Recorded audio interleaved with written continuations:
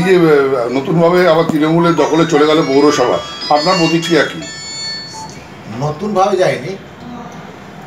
নিশ্চয়ই আপনারা জানেন তৃণমূল কংগ্রেসই ভোট ছিল। আজকে আমরা আড়াই মাস আগে আমরা বারো জন কাউন্সিলর ভারতীয় জনতা পার্টিতে দিল্লি থেকে যোগ করেছিলাম। আবার দেড় মাস পরে ওইখানে পাঁচটা কাউন্সিলর ব্যাক করেছে। তৃণমূল কংগ্রেসে পরে কর না বাইশ তৃণমূল কংগ্রেসের ভোট ছিল তৃণমূল কংগ্রেস আবার ভোট হয়েছে। আমি আপনারা জানেন আমি কুড়ি দিন আগে রিজাইন করেছিলাম চেয়ারম্যান পদ থেকে। কেন যখন আমার সঙ্গে ম্যান্ডেট নেই। আমার সঙ্গে যে পাঁচজন কাউন্সিলর এসেছিল আবার ওরা তৃণমূল যোগ করেছে এই যোগ দিয়েছিল। ওই জন্য আমি রিজাইন করেছিলাম আমার কাছে ম্যান্ডেট নেই। আপনার থেকে হঠাৎ করে কাউন্সিলরগুলো কেন তৃণমূলে ব্যাক করল?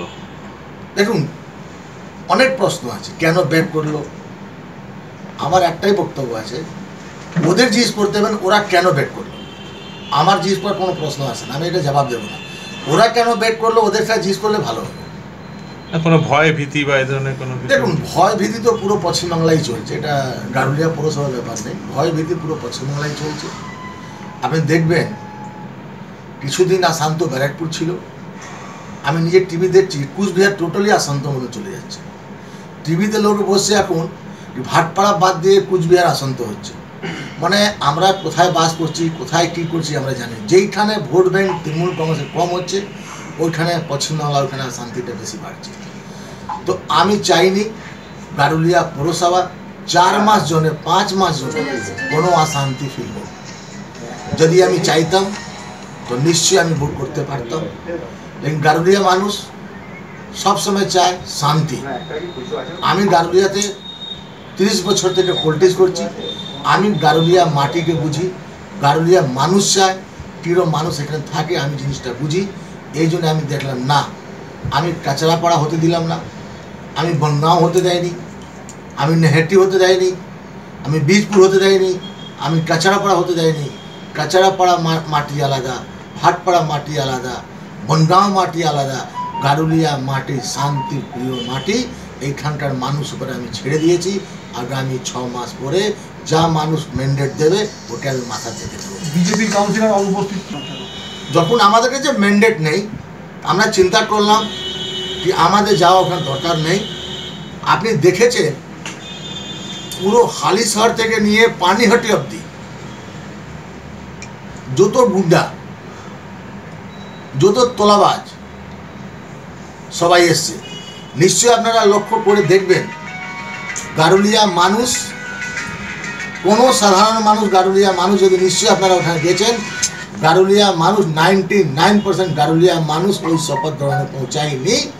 সোটালে যে কনভেন্সি ডিপার্টমেন্টের লোক, যে পৌরসভার কাজ করে ওদের আটটার সময় ছুটি দেওয়া হয়েছে তোমরা ছুটি নিয়ে নাও, আটটা, নটার মধ্যে পৌরসভা জুটো। সাধারণ মানুষ গারুলিয়া তৃণমূল কংগ্রেস সঙ্গে নেই। রাজনৈতিক আপনি তো দীর্ঘদিন ধরে চালিয়েছেন গারুলিয়া পুরসভা।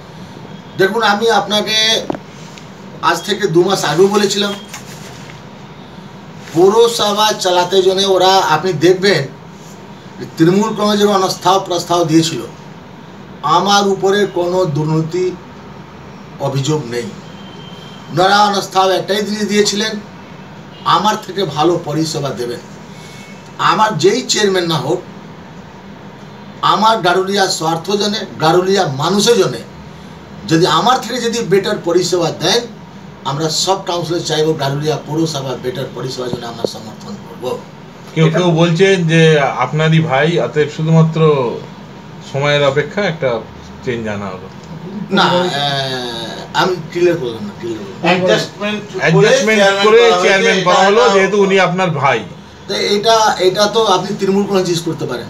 ওদের নেতৃত্বকে জিজ্ঞেস করতে পারেন কি আমার ভাই অ্যাডজাস্ট করে দেয়, তাহলে তৃণমূলকে জিজ্ঞেস এই প্রশ্ন আমার কাছে আসে না।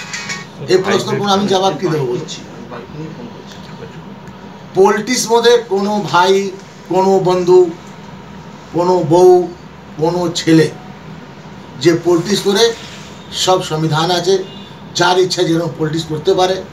তৃণমূল কংগ্রেস যদি উনাকে চেয়ারম্যান করেছে আমি আজকে না আজকে এক মাস আগে বলেছিলাম, যে পরিষদ আমার থেকে বেটার দিতে পারে, আমরা বিজেপি কাউন্সিলর সবাই মিলে পরিষেবাকে সমর্থন তৃণমূল থেকে একটা কথা বলা হচ্ছে